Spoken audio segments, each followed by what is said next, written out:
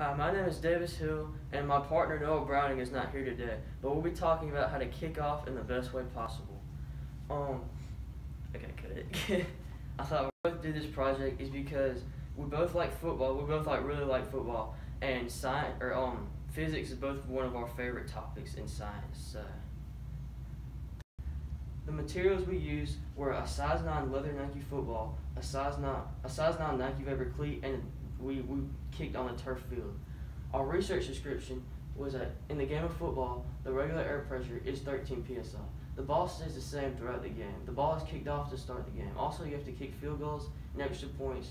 To, uh, you have field goals and extra points to kick, and then you have to kick off at the second half of the game. At any time either team scores, they have to kick it off to the other team. During the Patriots deflate gate, the football is deflated down to around 11.5 psi, which is prohibited by the NFL.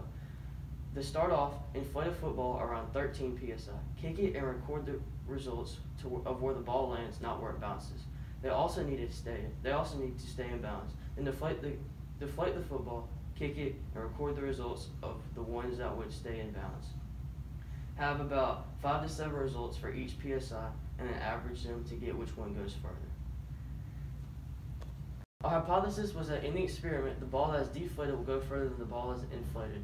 Our key terms were distance, football, air pressure, force, and friction. The definition of distance is the extent or amount of space between two things, points, lines, etc. The definition of football is an oval ball made of leather that is filled with compressed air. Air pressure is the force exerted by air, whether compressed or unconfined, on any surface in contact with it. Force is a force. A force is a push or pull upon an object resulting from the object's interaction with another object. Friction is the resistance to motor one of, one, of one object moving relative to another.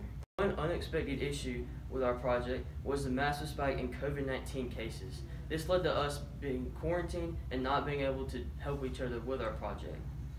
Our independent variables were the wind, the field, the time, the leg power, the amount of steps taken, and the weight.